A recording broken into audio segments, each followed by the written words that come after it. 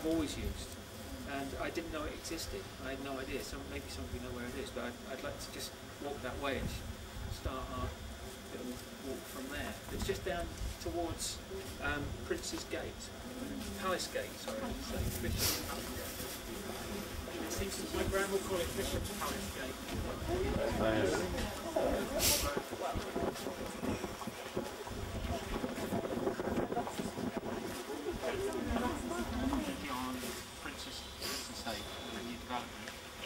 Shop was pretty much where the you know where the bus station is, and there's um, there's a kind of concourse at the front, at the lower end of it. There's a, there's a car park, and there, there used to. Actually, funny enough, I used to be a bus driver during my holidays before I was an art student. And there were some mini bus offices at the, the kind of foot of the bus station, and that's where his shop was pretty much. And my uncle, who's just arrived, was saying yesterday he could remember seeing uh, seeing those buildings, and they were two to three story buildings in Paris Street, and most of them had gardens that would run towards were they coach houses or workshops at the back. Yes, But but he he had to, he his, his was entirely a workshop. it, it's two workshops. Yeah.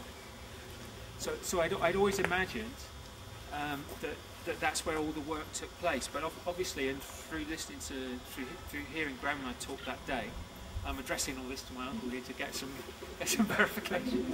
Um, that uh, actually, uh, this, this was the site where they would do a lot of their work. And I, I imagine, but it's another thing that's of consideration is there's a difference between stonemasons and stone carvers.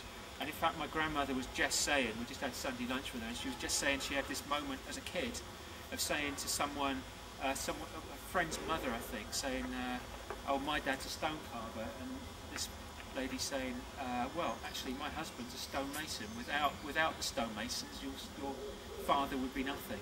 And there's this real there's this real tension, you know, and you can pick up a little bit, I think, when Nick's talking, that there are some carvers that are masons, there are masons that are carvers, there are masons and there are carvers. And so at some there is at some point there's a kind of extreme where they keep see themselves as very, very, very, very separate. But um, there's, there's some discussion as well that my, my grandmother starts to remember seeing her father up wooden scaffolding. And then, you know, you realise actually that wooden scaffolding could only be self-supporting, I suppose, to a certain height.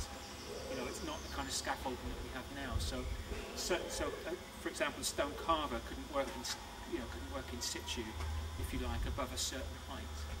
Um, things would have to be lowered, I, I imagine, or kind of you know, put in place afterwards by a, by a stonemason. But or, ordinarily, um, in some of the some of the cases, uh, from what I understand, in talking to Nick and my grandmother, they would cut a piece of stone, put it in situ, put it in place, and then the, the carver would come and work it and work their detail into it.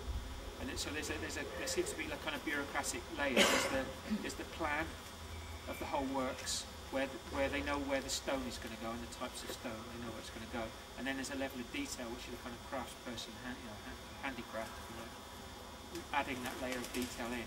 And it's, it would appear, from what we're going to see, that actually there's very little control over what that final layer of detail might be in terms of the kind of architects or plan, planners design for what this cathedral is. That there, there is the poetic license, so to speak, at that, at that point. And that the stone carver can put in whatever they like. So, let's walk back, I'll take you back to the West Front.